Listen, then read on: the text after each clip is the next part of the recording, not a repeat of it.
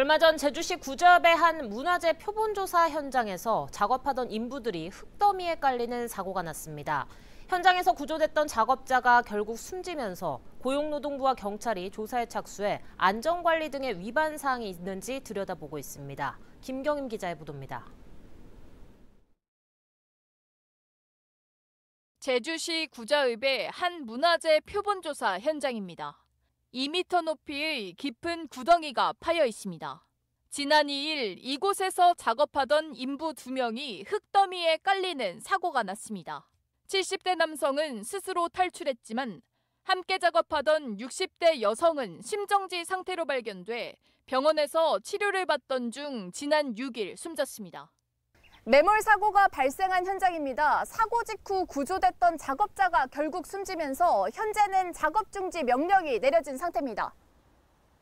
사고가 난 곳은 제주시가 상도공원을 근린공원으로 조성하는 과정에서 진행된 매장유산 표본조사 현장으로 제주시가 도내 한 연구소에 의뢰해 문화재가 있는지를 확인하고 있었습니다.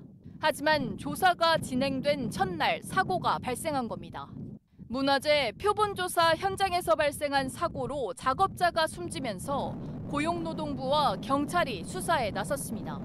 사고 당시 현장에는 포클레인 기사 등 8명이 있었던 것으로 알려졌는데 2m가량의 구덩이 안에서 작업 도중 갑자기 무너져 내린 흙더미를 피하지 못하면서 사고가 난 것으로 추정되고 있습니다. 특히 해당 현장은 상시 근로자가 5명 이상으로 중대재해 처벌법 적용 대상인 것으로 확인됐습니다. 이에 따라 고용노동부는 관계자 등을 상대로 정확한 사고 경위와 함께 중대재해 처벌법과 산업안전보건법 위반 여부를 조사하고 있습니다. 사업을 발주한 제주시는 물론 문화재 표본 조사를 담당한 연구소 모두 조사 대상입니다. 일부 미흡한 정황이 있어서 그거에 대해서 저희는 어쨌든 뭐 조사하는 중이고요. 그건 이제 초동 자세라서 정확히 뭐 때문에 사고 났다 이렇게 딱 정확히 결론 드리기는 좀 어려워요.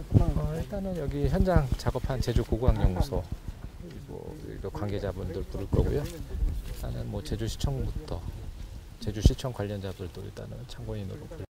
경찰도 흙막이 등 안전시설물 설치와 안전수칙 준수 여부 등을 살펴보고 있습니다.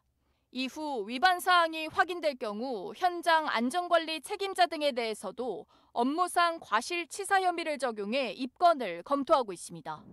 KCTV 뉴스 김경임입니다.